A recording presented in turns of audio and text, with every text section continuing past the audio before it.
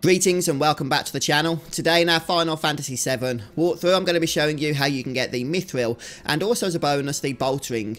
Uh, the Mythril is very important because it's required for Aerith's Great Gospel Limit Break of which a trophy is tied to it so as part of the Platinum Walkthrough series, we do need to get it. Now, make your way over to the Junon continent when you've got the buggy, and if you head north over the river, you can enter the cave here to find the Sleeping Man. Now, the Sleeping Man is going to whisper a few things to you. Um, one of those is talking about materia, that comes into use later. The other thing he might say to you is to tell you how many battles you've engaged in, and finally, how many times you've escaped from battle. And you just have to exit and enter until he says what it is that we want him to say. And what we want him to tell us is how many battles we've had. Okay, there we go. We've already fought 290 times. Now, the only thing we're interested in, in the amount of battles, is the last two digits, in our case, the 9 and the 0. We need those to be the same number, and not only do we need them to be the same number, we need them to be odd numbers. So as you can see, the closest odd number that we can get to from 290 will be 299, because 9 and 9 are the same, and it's an odd number.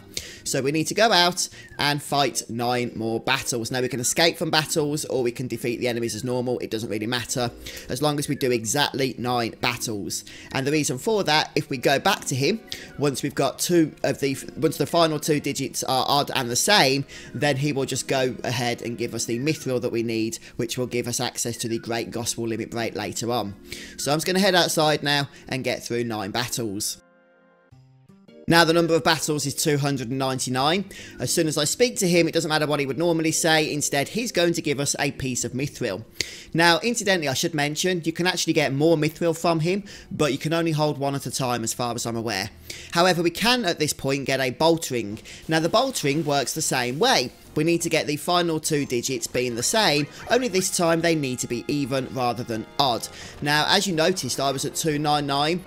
I kind of thought it was suggested in live stream as well um, that if we got to just 300, so one battle, we might be able to get the bolt ring then. But apparently two zeros doesn't count as an even number. Kind of makes sense, I suppose, since it didn't work. Which means that the closest for me was going to be 322 battles. Okay, so 311, although they are the same two digits at the end, are obviously odd. So the next two even digits that are the same would be 22. So I need to skip ahead now to 322. And now I've gone ahead and got 322 battles completed in total, so once again we simply speak to the Sleeping Man, and this time we get the Bolt Ring. Not the most incredible item that we can collect in Final Fantasy VII, but hey, completely nullifying lightning attacks on one person is going to have its uses, so yeah, it's a good thing to get.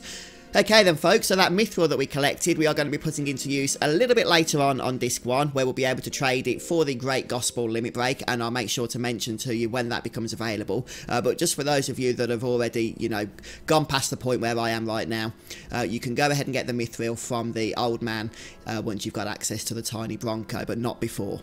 Okay then guys, well thanks for stopping by checking out the video today. I hope it's been helpful to you. I'm just going to head back now, collect some of the previous uh, enemy skills for our second enemy skill materia, and I'll see you next time.